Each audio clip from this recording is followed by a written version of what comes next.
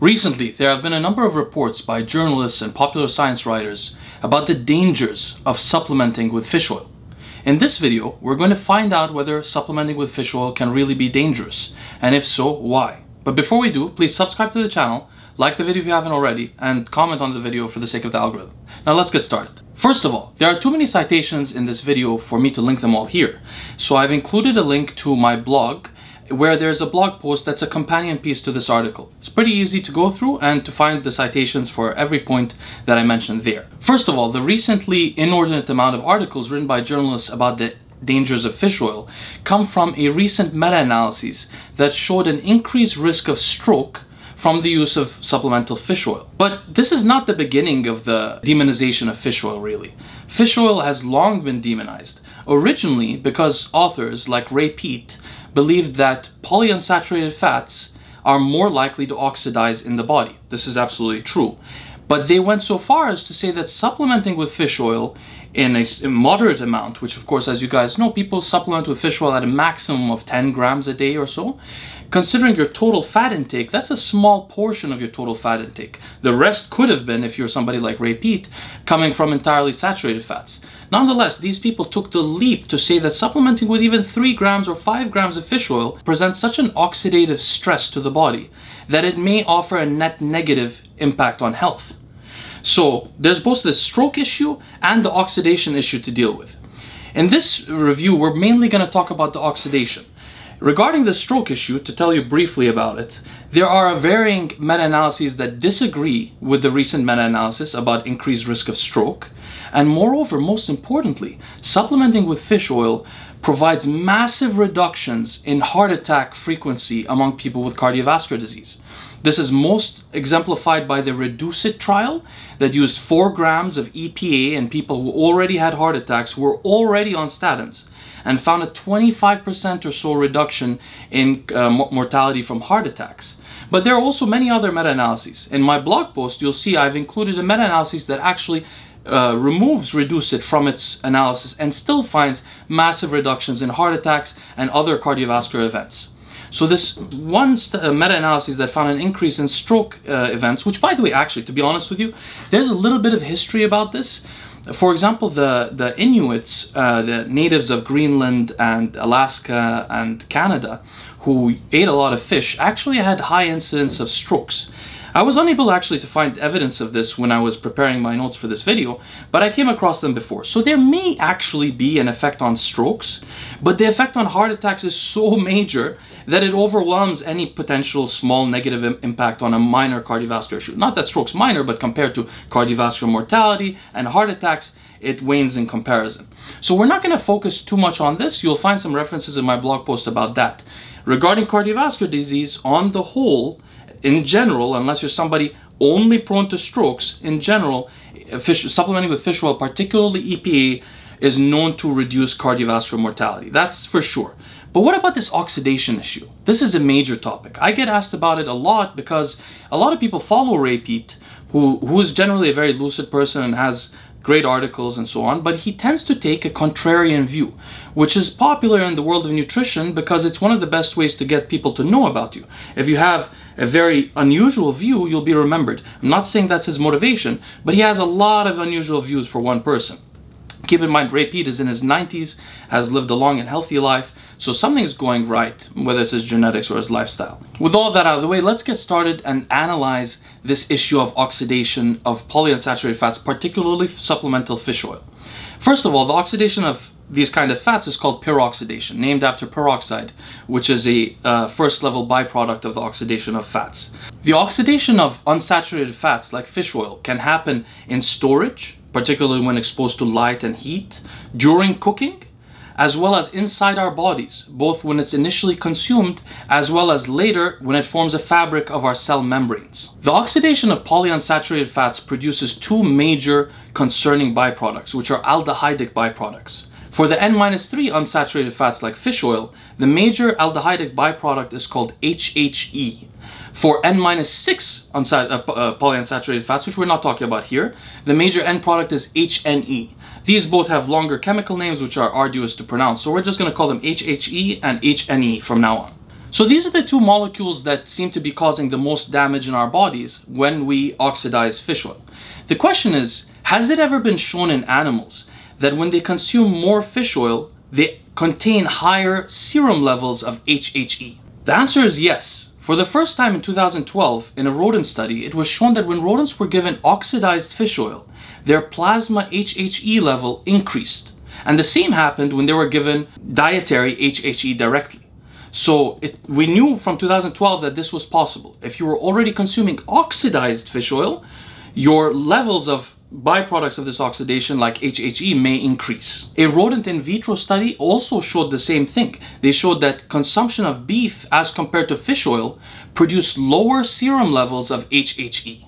So these two studies showed that rodents could experience higher levels of HH of serum HHE if they consumed fish or oxidized fish oil. But what about humans? In humans, serum HHE levels, which are not very well studied by the way, seem to average around 6 nanomolar, but can increase to up to 17 nanomolar with people that have high uh, well, autoimmune conditions like arthritis, for example, high oxidative stress levels. A two-week human study found that supplementing with DHA did not increase but remember DHA is one of the components of fish oil with EPA, did not increase serum HHE levels at a dose up to 800 milligrams. But at 800 milligrams and north of that dose, which is what I'm consuming personally, and many of, us, many of us are consuming for the effects of fish oil, you have to actually use higher doses.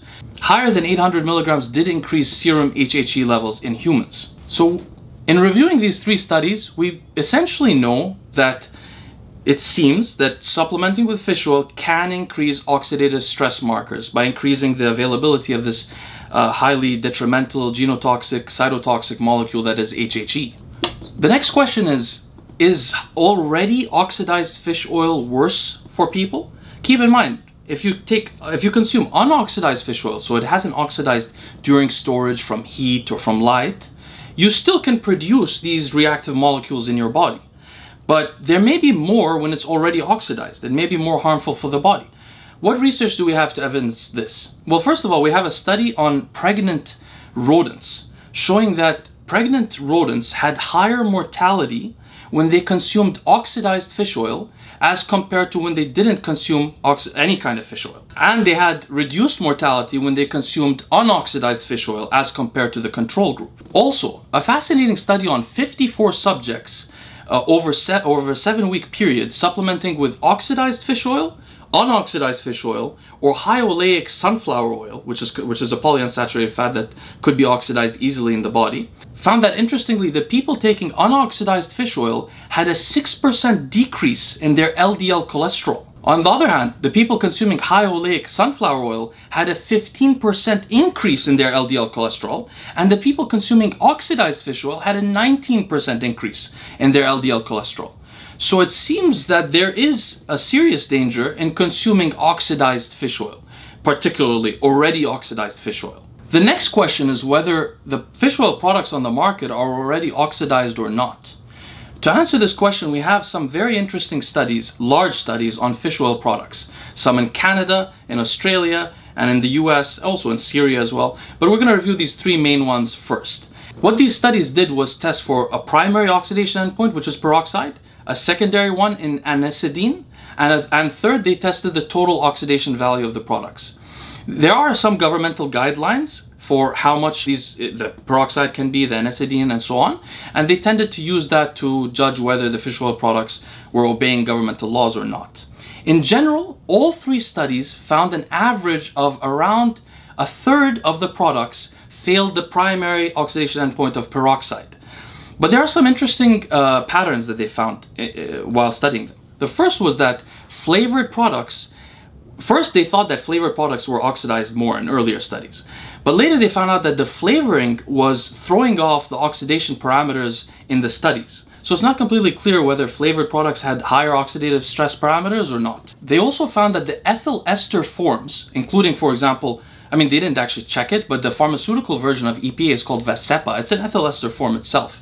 Ethyl ester forms are basically how uh, manufacturers do this is that they have to purify the fish oil to get rid of mercury and so on and when doing so they put it in an ethyl ester form some uh, manufacturers then put the product back into a triglyceride form because it's more absorbable. Also, some manufacturers will sort of trick you, like Carlson, for example. They put some of it back into triglyceride form and some of it not, and they don't tell you how much they do. But anyway, the ones in uh, ethyl ester form that are not in, back in triglyceride form, which are generally lower quality products, tended to have more oxidative, uh, higher oxidative parameters.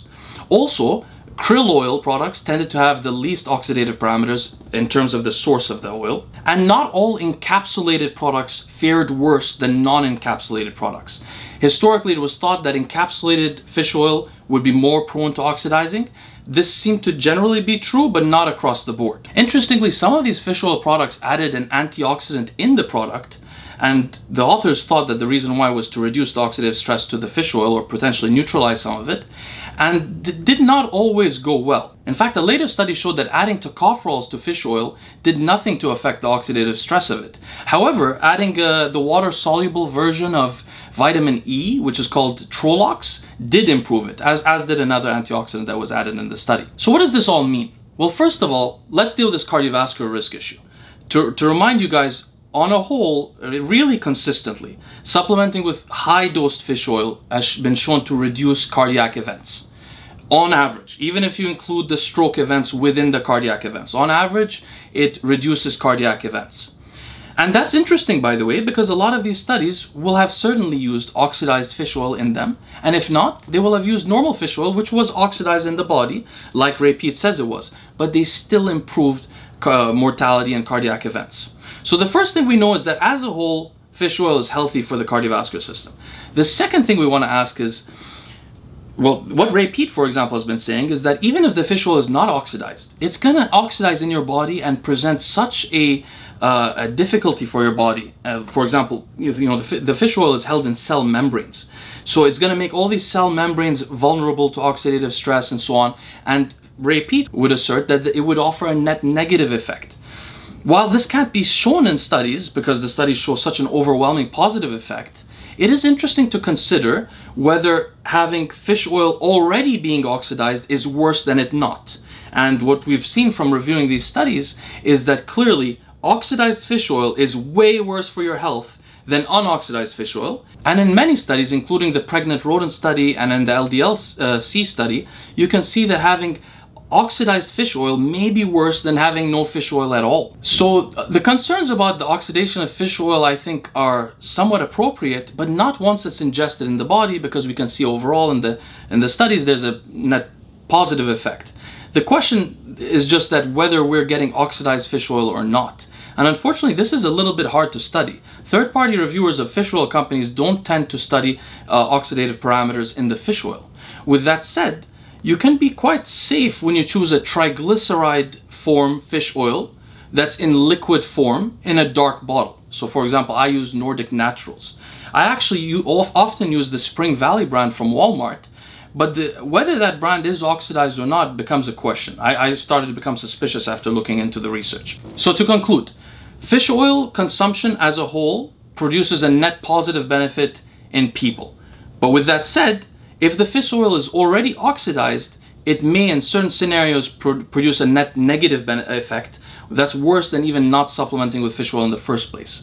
To avoid that, you can use a triglyceride form fish oil in liquid form, ideally without a flavor, although many have flavors. For example, I use the Nordic Naturals liquid form of EPA and DHA. Anyway guys, I hope this was helpful for you. Let me know if you have any questions below and I'll see you next time.